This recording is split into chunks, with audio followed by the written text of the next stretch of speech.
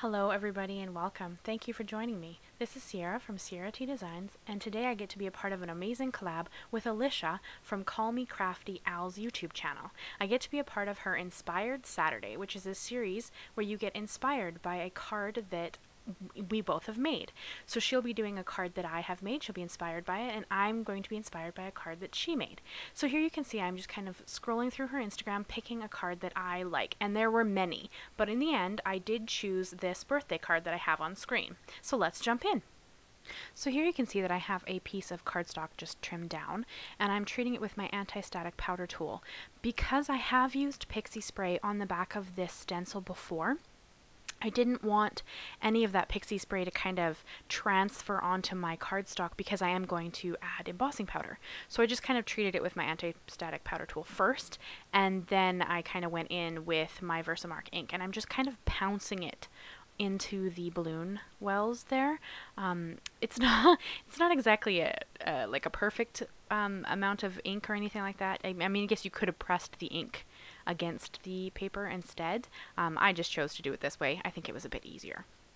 And I'm just adding some Brutus and Monroe white um, alabaster embossing powder to everywhere on the cardstock and I'm trying to keep my fingers out of it. I don't know if you can really see very well where the uh, embossing powder is but um, I just kind of uh, held it on the edges where there was no embossing powder and then just I'm going to heat set it until it's smooth and melted.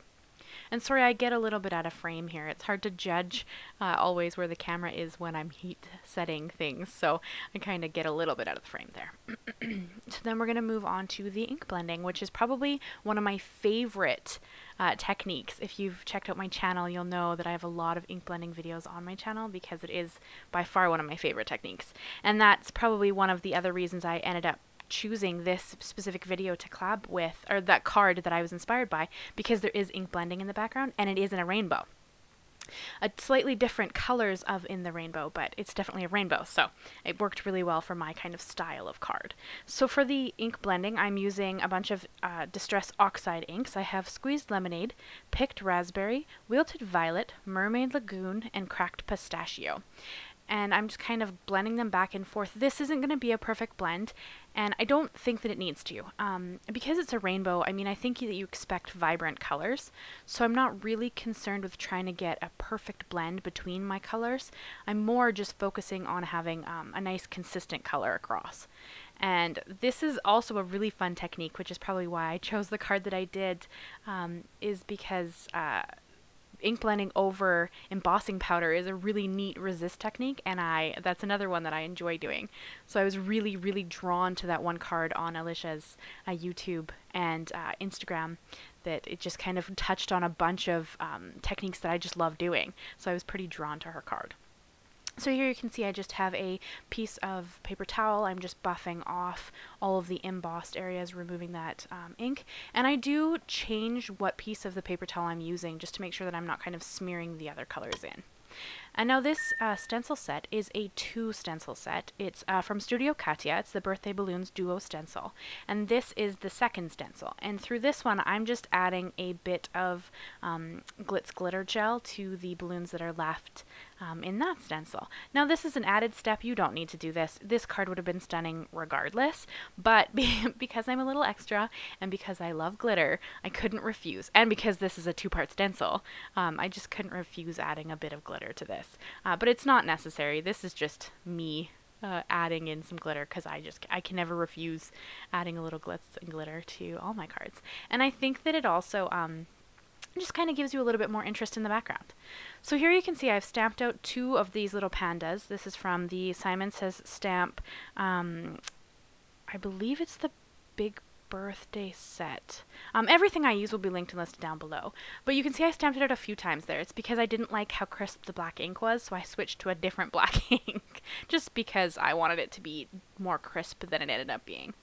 And for my balloon element that's going to stand up above, I have some Simon Fog cardstock and just a little balloon die that was in my stash.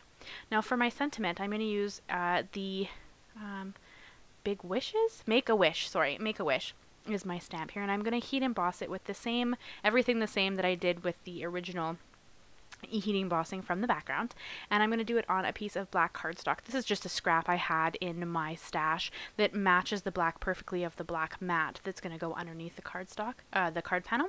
If you've been to my channel before, uh, you'll know that I love to black mat things, although I have been trying to kind of step away from it. But I thought for this rainbow, the black mat would just look stunning, so I ended up adding it in because I just couldn't resist um, having a black mat with this specific design. So here I'm kind of adding the little uh, stem to my balloon, and this took me kind of a minute to figure out. I've never actually added uh, string to any of my cards before, or, or anything, uh, thread or fibers, anything like that.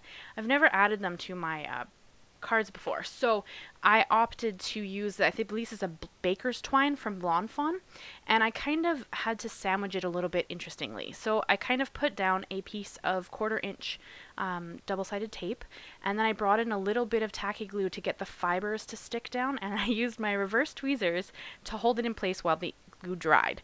Um, there's probably easier ways to do this than what I'm doing here, but this was the way that I figured out while making this card that worked. So by all means, if you know a better way, please let me know. Um, I just kind of did it this way because that's what I came up with while I was playing with it. But um, I just, it works. It just was a bit odd. And then once that was dry, I'm going to trim off the excess because this is just going around the balloon. And then I'm going to create the kind of tail of the balloon. And for that, I put another piece of that quarter, or I believe this is an eighth of an inch, sorry, score tape on the back of the same piece that was on there and then just attach down a, another piece of the baker twine to um, have the kind of stem piece or, or string that would be holding the balloon to the little panda. And I did also off screen fussy cut out my little panda. Um, I don't mind fussy cutting, that doesn't really bother me. I know some people don't enjoy it. I believe there is a die set that matches that stamp set, so you don't have to cut it out, but I opted to cut it out. So completely up to you. Um, I don't mind fussy cutting, but I know some people really don't enjoy it. So here I just have a glitter, uh, sorry, not a glitter, a white jelly roll pen. And it's I'm just adding kind of a little white highlight to the sides of the balloons just to add a little bit of interest on this kind of flat cardstock. Um, I left it flat intentionally because it's not really trying to take away from the background and that's also why it's gray and not a color. I kind of wanted it to be this really cute image on top of this vibrant background. Uh, so here I'm just going to lay down my black mat. And I have an A2 sized card base here. And I, my black mat is 1 8th of an inch smaller than my uh, card base. And my panel is 1 8th of an inch smaller than my black mat. And that's just kind of how I tend to do um, my measurements. And honestly, I eyeball my measurements. Um, you could use dies. You could... Um, do something different than what I do, but I use my trimmer and just eyeball uh, my measurements, and I also eyeball laying down my layers. Um, I don't really need it to be perfect, so I don't mind uh, just laying them down, but that's kind of what I opt to do. And then we're going to put everything together. So I have my little black strip there with my sentiment, and you're going to see me kind of futz about this a little bit. Oh, sorry, I'm going to create the banner end for my uh, sentiment first, which is just one trim down the center and then just kind of fishtail bannering the uh, other sides and meeting it.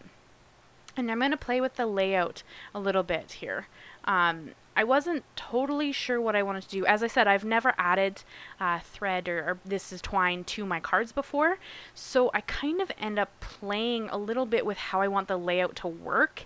Um, so just bear with me. Um, you know what the card looks like. You've seen the thumbnail, but it just kind of played around with this a little bit until I kind of liked the layout of it, and then I'm going to start to uh, adhere some things down. So make sure you go and check out Alicia's video. Um, I can't wait to see it. I don't know what card she chose of mine to be inspired by, and I cannot wait to see what she chose and what she came up with. Um, I think this is an amazingly great opportunity for, for just to have a great collab with someone who's a really amazing creator. So I hope you'll go and check out her channel and see what video of mine that she created. And if you're stopping by from her channel, thank you for stopping by. Thank you for checking out my video. I hope that you're interested in what I made and I hope you'll consider subscribing. Leave me a like, leave me a comment. I, I respond to every comment that everybody leaves because I just, I love hearing from you guys and knowing what's going on for you. So, so here you see that I, I kind of, um, I flipped over my little panda bear and I added some of that same double-sided tape to the back and then stuck my balloons down after I had trimmed them down to the heights that I wanted. And I'm kind of now trying to figure out how to lay them out um, a way that I like on the background. So I'm kind of, I'm going to end up gluing them together and then I'm going to end up popping some of them up on uh, some, with those thin 3D foam squares you see in the corner there. Um, I wasn't sure what I wanted to do here, but in the end I think it turned out really cute. So you'll have to let me know what you think, because uh, I love, I love, actually I love how this card turned out. And I, I never have enough birthday cards, ever. Um, I find that that's one of the few cards that I need more of every time I go to look at my stash. I've given them away or I never have enough, so I thought that that was like a perfect uh, card to be inspired by. But yeah, so I used one foam squares to kind of stick down the one balloon in front of the other two, and then I used a little bit of that same glue to glue the two back ones together. Um, and then I'm going to add some dimension here on the card. So these are a new, well, new to me, um, craft supply, these thin 3D foam squares, and I have to tell you that I am crazy in love with them. Um, they are so easy to peel the back off, as you see right there, and they're so easy to uh, use, and they're so thin. Um, they add a little bit of dimension, but not so much that you can't uh, kind of like I have some foam tape and I find it's way too thick, so it doesn't really work well generally because I like to mail a lot of my cards. So I'm just going to show you the final product here. I hope you guys enjoyed this video. I hope you'll go and check out Alicia's video as well. And, if you enjoyed it, leave me a like, leave me a comment, subscribe if you haven't done so already. And I cannot wait to see you guys again. Thank you so much for stopping by and have a great day. Bye-bye, guys.